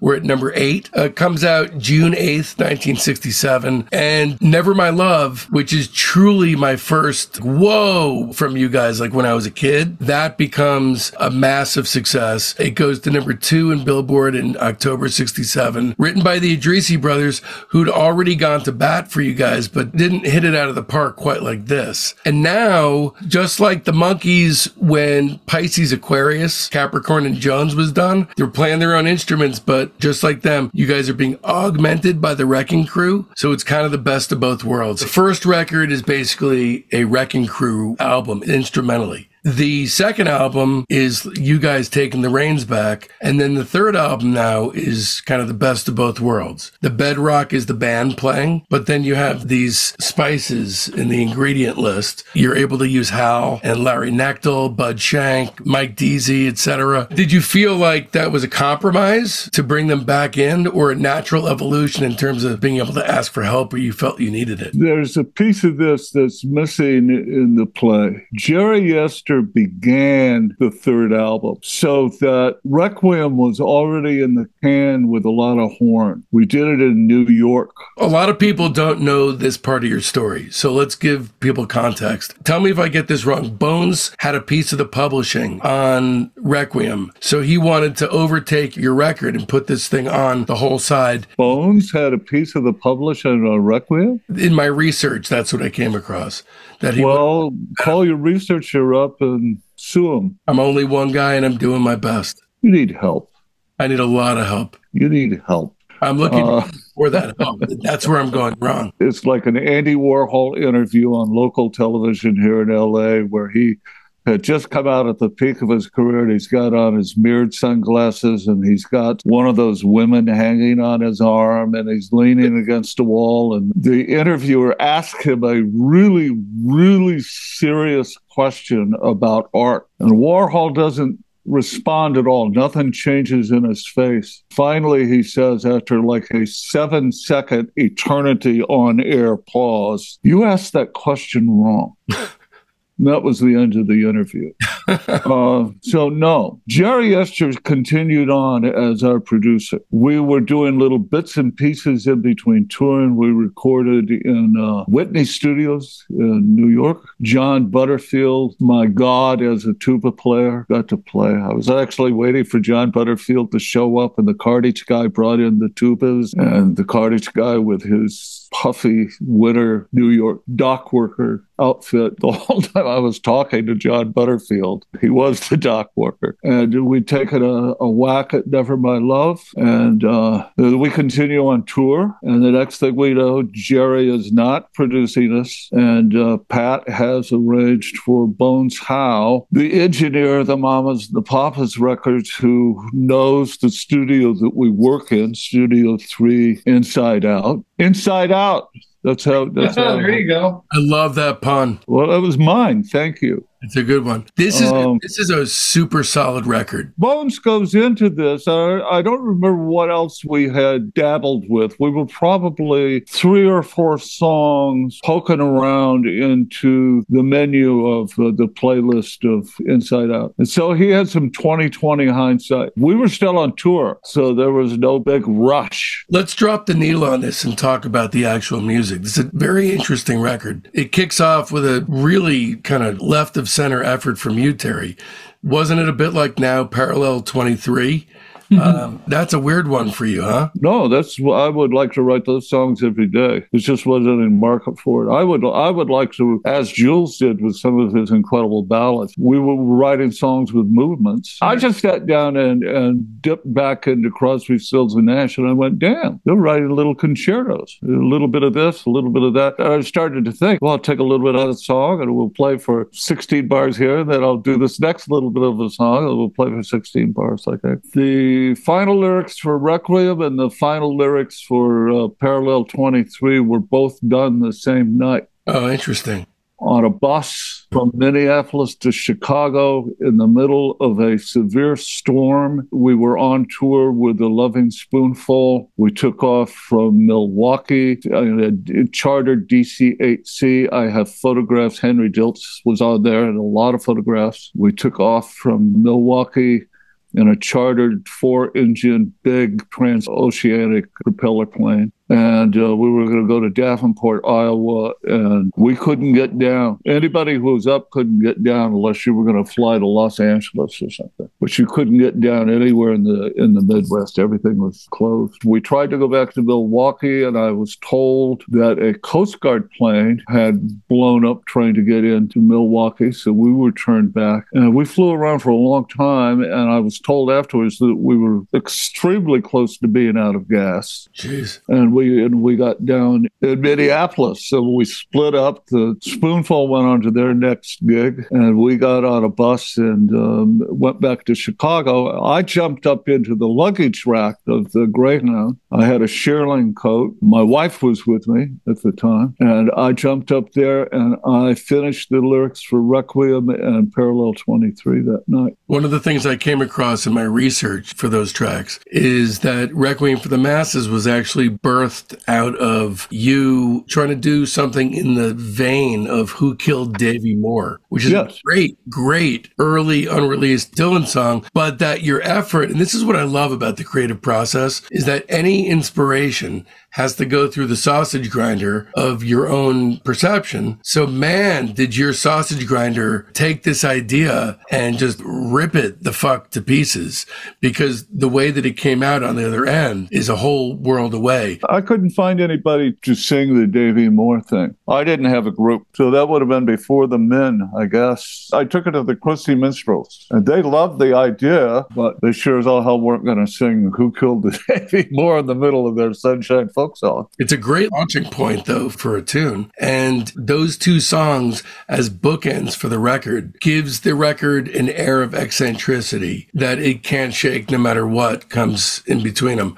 Those are probably your two strangest songs. The album always sticks out in my mind as a weird one because those two songs of yours are probably your two strangest ones from mm-hmm. your time in the association. But in between those, man, there's some great stuff. Uh, no, no, no.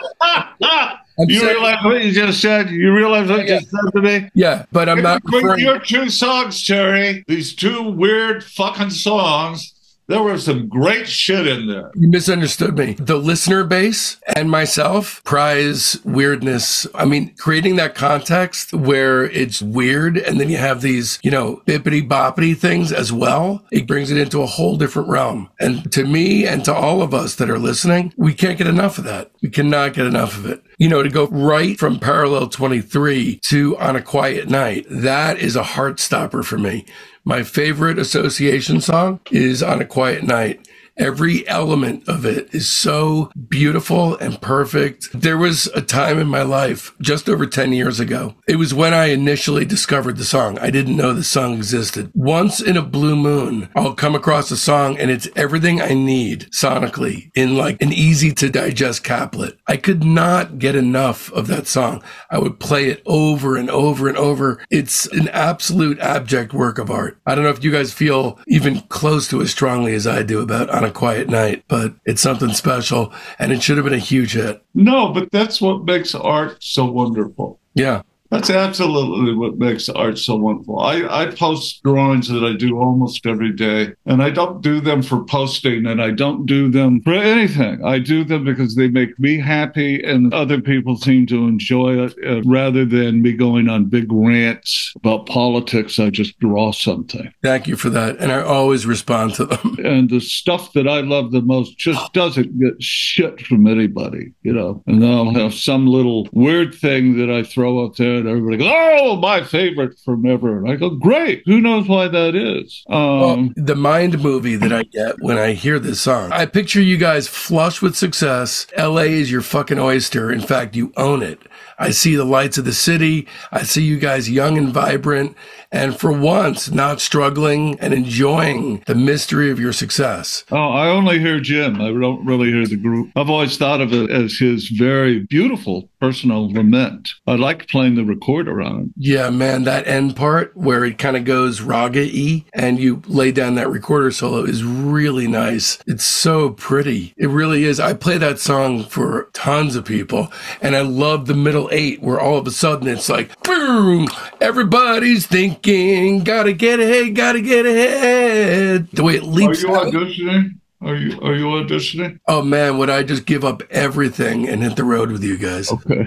I really would. Then We Love Us, which has gotta be Ted's best song. What a joyous celebration of life. It's just flush with the joy of being alive. I think again one of your best. That descending Celeste figure, that's one for the ages. The album was well done and about as well done as anything we we had done. I was certainly pleased with my stuff, although I hate my lead lead vocal on Requiem. I hate it. it. Makes my skin crawl. What about it? It was done at dawn after about 20 hours of recording. That and the flugelhorn. I couldn't even hold the flugelhorn up. I had to brace myself on a stool. I was just really tired and sounds tired. And it's right on the beat, and I don't like music that way. Right. Lagging a little bit behind the beat. Is that your preference? I don't know. You know, it's what I said last week about Peggy Lee's advice is don't ever record a song you haven't sung for three months on the road. Yeah. I didn't have the song yet.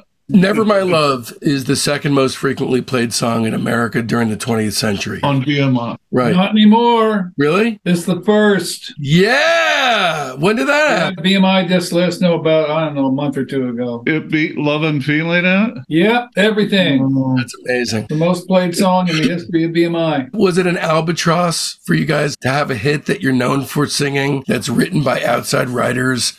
When you're all truly capable writers yourselves? We almost didn't sing a song. It almost got forgotten because it had been on Jerry Yester's stove. He'd had a whack at it. And we had a basic track to it, but all the attention was on other shit. And for whatever reason, Warner Brothers, I believe, we need an album, we need an album. So they send Bones to New York in the middle of a tour. And we go in and we spend this just horrible day in this studio up in some high rise. And we didn't keep a thing in background vocals, not a note. And as we're leaving, I turned to Bones and I said, Do you have the Addrisi tune? Hmm. And he says, Yeah, I do, I do. I said, Would you put that up for a second? And I grabbed Larry and I said, Would you just, I'm hearing something on the Addrisi tune. And I called it singing in subtone. Mm. You ask me if there will come a time, you know, which was Larry's bag and the total opposite of my you ask me if you know uh, Pavarotti. Here comes Doctor Profundo, um, and we did, and that was sort of it. We kept that, went back to LA, and then we essentially did what Don Addrisi had written. Essentially, did his vocal arrangements for he and his brother Dick. We pretty much did the demo. You guys went for broke with the Addrisi brothers on side two. Yeah, yeah and and then we kind of forgot about it. And then yeah. we were doing either the Red Skelton show or Steve Allen. And it was on a Sunday. And the album had just come out. Nothing had been picked, nothing. They came in and they said, besides the already established hit, what else do you want to sing? And we hadn't selected it. All the tapes were there because we were just lip syncing. All the tapes had been sent over. Pat just turned and said, well, let's do the Addrisi song. And that's sort of how it got popped. And it's just, just one of those little things you think you keep putting it to the side and putting it to the side, putting it to the side. And you got this little itty bitty bitty bitty bitty bitty bitty song. You know, it doesn't have a chronological evolution to it in my head. I'll tell you, everyone that lives in this house, meaning my mother, my father, Right. my wife, and myself, are absolutely 100% enthralled to that song. Yeah. No, magic. It's just magic. Thank you. Thank you. I don't know what you did different in that, but perfect. And everybody's very lucky. Requiem is the B side. Yeah. And when it got first released, about eight large markets flipped it. And Warner Brothers, for the second time, got calls from the United States government and stepped on any direct promotion of the song. They did it with The Long Conspiracy. They also did it with One Toke Over the Line. They did it with all sorts of stuff. It's kind of cool, though, that Requiem was actually a top 100 song. yeah. It hit number 100. Yeah. kind of awesome. Pretty subversive for something like that to be hitting the charts at all. There's that interesting word again, Jules subversive. All Mhm. I'm doing is writing about what the, the last thing that a kid sees as he dies in some fucking field. Well, I mean, I call it the Flintstone vitamin theory. So if you sugarcoat anything, you can get it down anyone's throat. Steely Dan were doing a lot of that in the 70s, but somebody's throat? Who are you protecting? you know, it's easy for Brewer and Shipley to sing about drugs. They look like freaks. People are expecting them to act like freaks. But with you guys, there's a Trojan horse thing going on. And the horse, the horse is that marshmallowy vocal blend. That's the horse. So after Happiness Is, which is two Addrisi Brothers songs in a row, uh, There we go. There we go. Now we're into pay dirt.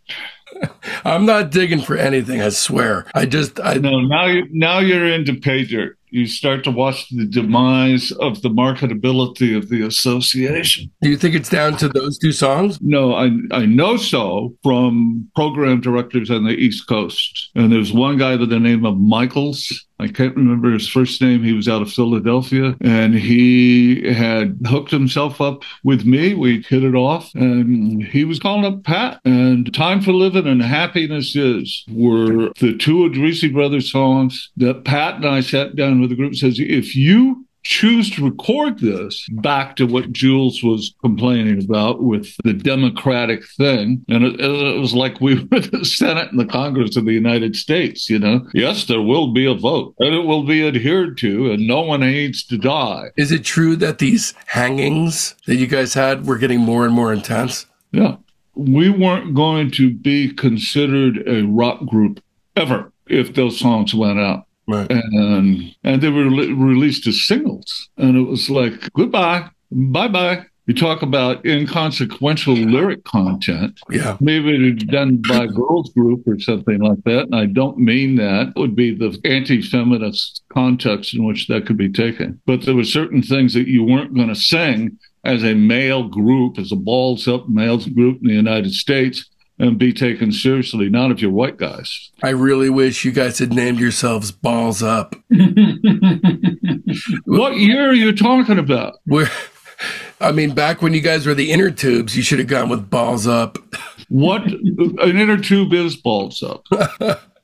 what year are you in now? We're at Insight Out, which is 67. What is going on in the world in 1967? Vietnam. What else is going on? We're getting out of the Summer Love. We're getting towards the domestic discontent of the Democratic National Convention, etc. As cheaply manipulated as the market was, the market with Rolling Stone magazine, etc., cetera, et cetera, there was a pretense of relevancy. I don't know about the free press. I don't know about, you know, any, any, any of that movement. That was a bigger concern to me than the success of the group was. And it was right about the time of uh, Time for Living that I thought, well, I got to come up with a plan to get out of here. Oh, so you were already thinking five years before you left about leaving? Thinking of that thought, Yeah. I have never ever spoken about this at all. So I'm going to give you both a, a glimpse. David Geffen and Elliot Roberts wanted to take me from the association. Wow.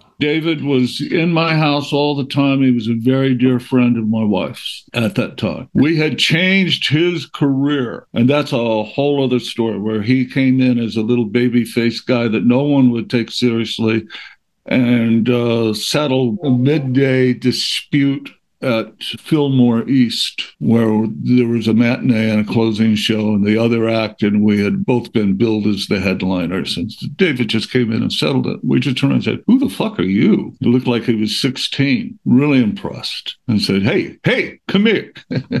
so uh, he got us out of the ABC contract. We were in a, a mob kind of contract. It was all the way back in the Jubilee days. That's the thing that. And David took the association over and cut a deal that no one had ever cut before. I'm going to take your act. I'm going to pay you your commission. I'm going to book you more than you could book your act yourself. So shut up and enjoy the ride because they're not staying with you at the end of the three year contract. So that was a huge thing for me. And I couldn't imagine myself recreating anything that would. I just said no. Without thinking about it? No consideration? Not a lot. Not a lot. My ex wife and I have been talking about that a bunch. Pat Colecchio certainly didn't know it. What was the main reason you turned it down? I think I had an investment in the association.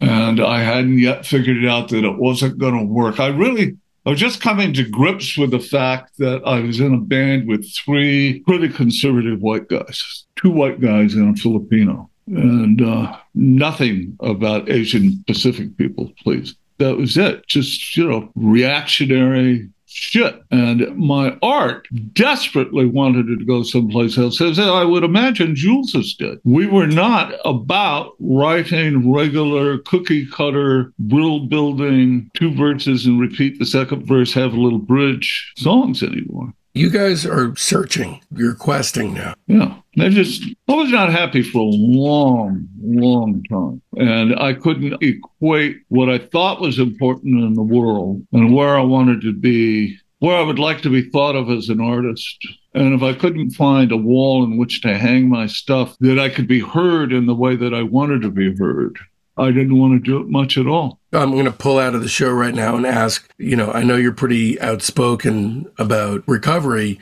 Do you want me to skip that aspect to preserve your anonymity or not at all? Okay. Be careful which door you open because I've got a great 19 hour pitch. Okay. So. Duly noted. So at this time, with all the inner confusion you were having about this stuff, was your substance use starting to flare up in a bad way? Not yet. Not yet. Uh, my wife wants me to eat a sandwich because of my blood sugar issues. She sounds like a great woman for that.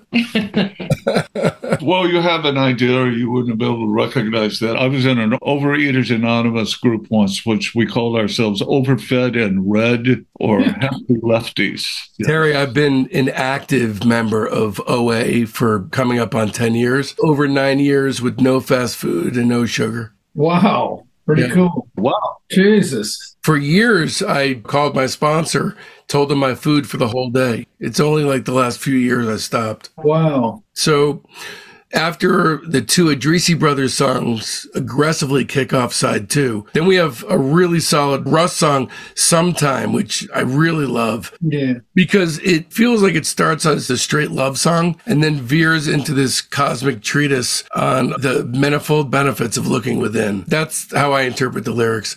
So I love that. I love his eccentric and weird singing style. Definitely the oddest singing style in the group. Wanted Ain't Getting is a really cool piece that Mike Deasy wrote. I can tell you a fun story. The background voices are singing Bapak, who was the mucky muck of Subud, and She Got Pot.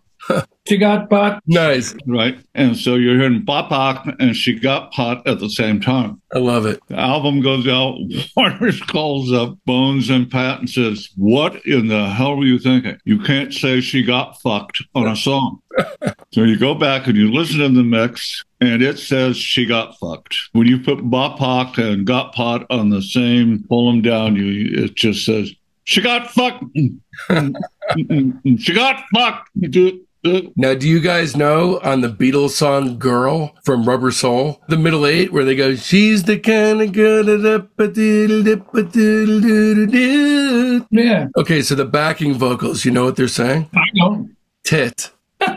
They're just saying, tit, tit, tit, tit, tit, tit. That's what they're saying. So much for arrested adolescents, huh? Oh yeah, right. Uh, that's that's broke out of jail adolescents. These showcases that Brian Cole got, they almost feel like a Ringo Starr kind of a deal. Like he gets his showcase on each record.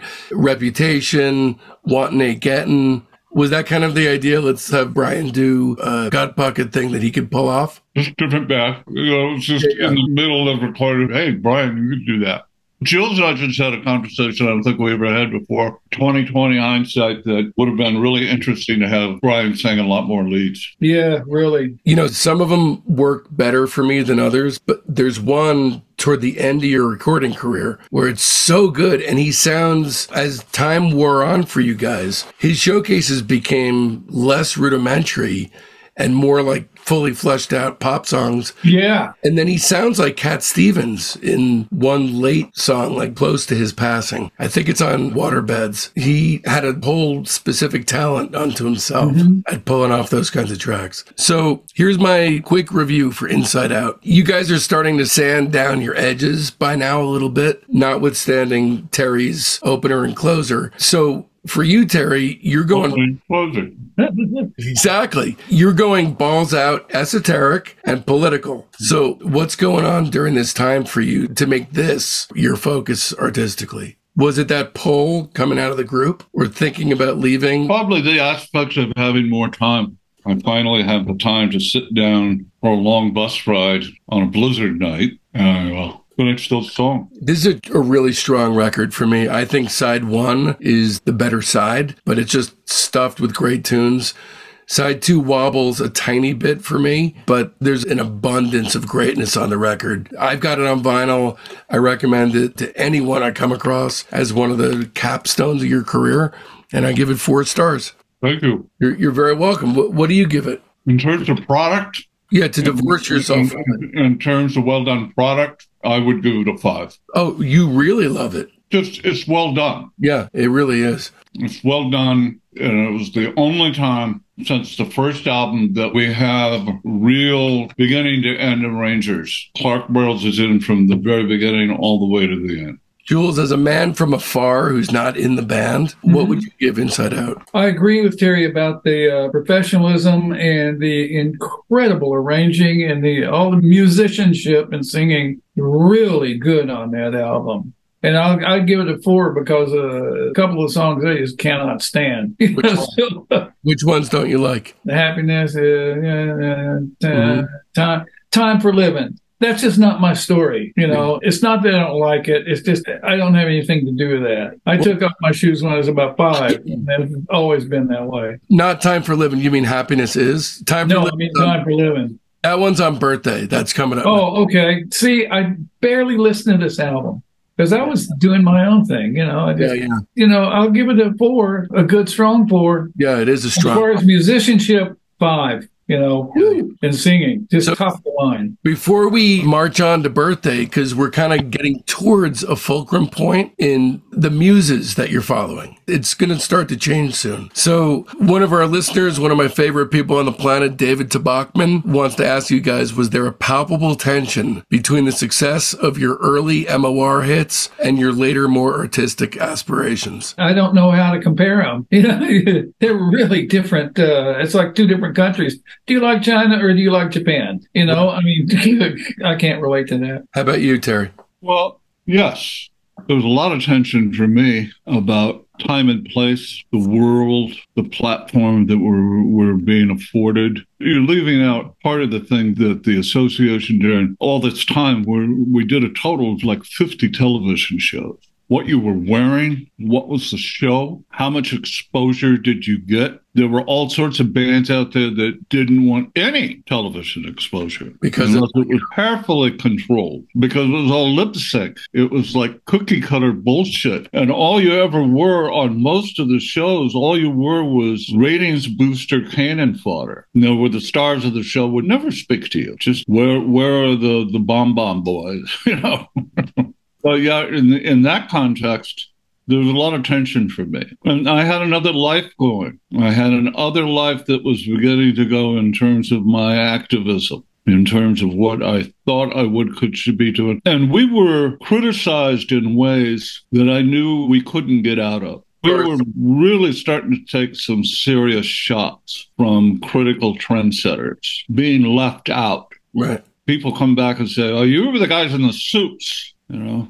Elliot Roberts took me up to his house in Laurel Canyon one day from Schwab's Sunset Boulevard. And he lived straight up the hill, Laurel. And he dropped me off in David Blue. You remember David Blue? Yeah. David Blue is already in his house, and uh, was either a telephone call or Elliot had to run out and do something. So I've never met David Blue before. I'm in the house with him in Elliot Roberts' house. And Elliot leaves, and David mumps around a little bit, and finally he says, "So uh, the association, you're you're the guys that sing that uh, that faggy song, Cherish." Oh God. I don't know whether you're going to like or dislike my answer, David, but uh, uh, are you gay? You know, uh, shit like that. It's like anybody that's done television. It's like anybody that's done a movie. It's like, am I really going to get typecast? Yeah, yeah. And we were pretty actively typecasting ourselves between Warner Brothers and the rest of the guys in the group that wanted to pick songs like the Addrisi Brothers' Happiness Is and Time for Living. I love Never My Love and I, I love the hits. There's nothing wrong with that song. Yeah, yeah, there's nothing wrong with it. But, you know, history has a way, based on what it wants to see, of attenuating the complexity or shaving down the complexity of a thing until you're a two dimensional sketch. Well, your your view is being born in 1972 and looking back and saying, you know, I don't know much of anybody unless they were a musicologist that would really sit down and say, let me really think about the context in which this art was presented to the public. Mm-hmm. Any art, Yeah. television, movies, and uh, the general audience was under a lot of pressure. And top 40 still ruled,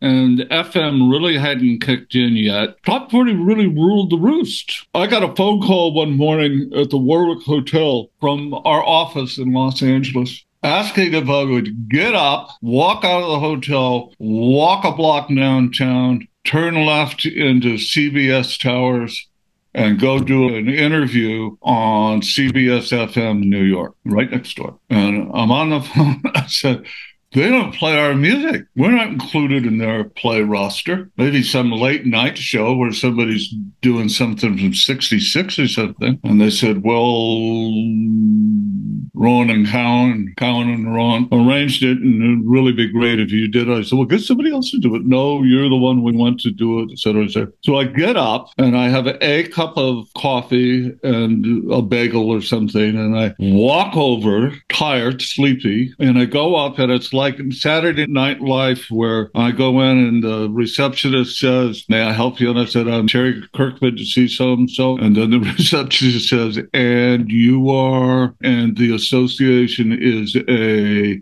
musical group. you know, so finally the program director comes out and he says, I'm being asked up here to do an interview with somebody from the association. Oh, God. And I'm standing right there and I says, Yeah, that would be me. And he looks at me and he says, Really? I says, Not my idea. He says, What are we going to talk about?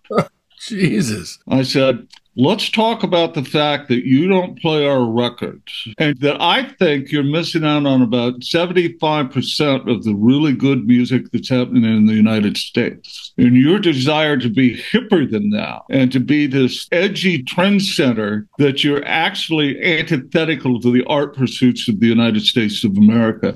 And he looks at me and says, You are so fucking on. And we go down the hallway and we don't go into a studio. We go into a supply room and he takes a Nagra. We sit on the floor and he puts the microphone out and he tests and we start to talk. And then he takes out a Bufferin bottle and he opens the Bufferin bottle and he's got a straw oh, Jesus. about this big and it's cut at a bias and he goes in the Bufferin bottle and he comes out with the equivalent of about two lines of cocaine and puts it up my nostril. and we're recording. And then he takes some. And then a little while later, we got a little more. A little bit. I think my point was made. So solid record. I think we're all in agreement. And next up is birthday. So before we proceed here, let's stop. Terry, what are you what are you smiling about? Between me and me. okay. Listen, I really appreciate your patience. really, I know this, I know it's a long time, but so you know, I don't go into this much detail unless I'm truly obsessed with the band. So I want to do your story a justice. It deserves that. This, yeah, this is great. We've never done anything like this before. I tell you, we've never done anything like this before. This is really fucking great. David and Jules, Yeah. I have to pee really bad. Oh yeah. I have to pee. Oh yeah. You want to take Bye. us with you into the bathroom? I'm just fucking with you, Jerry. Look, so he shows his dick. His dick's name is Cherish.